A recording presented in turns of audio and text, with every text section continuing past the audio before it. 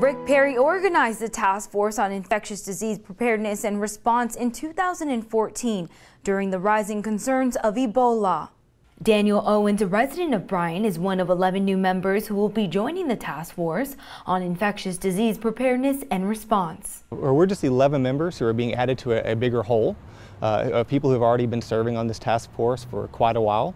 Uh, and so right now we are the new people who are just serving at the pleasure of the governor. The members that make up this group hold a variety of leadership and executive positions to speak on behalf of their city. They created it to make sure there is a task force of people from multiple disciplines in order to make sure we have the best kind of uh, response and preparedness plan in Texas. Developing himself in the field of medicine in Bryan will give Owens the opportunity to speak on situations he has seen before my role on, on, the task force is mainly to just translate the, the EMS experience uh, from this area uh, into language for policymakers and decision makers. Citizens like Audrey are happy to see her small town gain the representation her people need.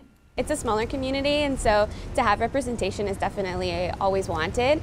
I think that we probably offer a really good um, perspective. Owens is proud of the EMS culture the city of Bryan has to offer and is humbled by the opportunity to represent a town he considers a hidden treasure.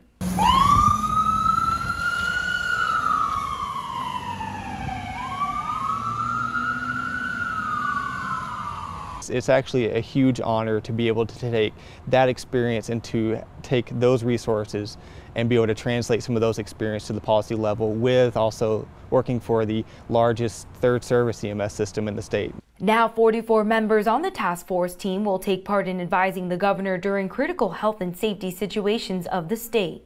The task force was found so useful it became a permanent service to advise the governor of Texas, passing the bill and effective immediately on June 19, 2015. Reporting in Bryan, Brittany DeFran, 25 News.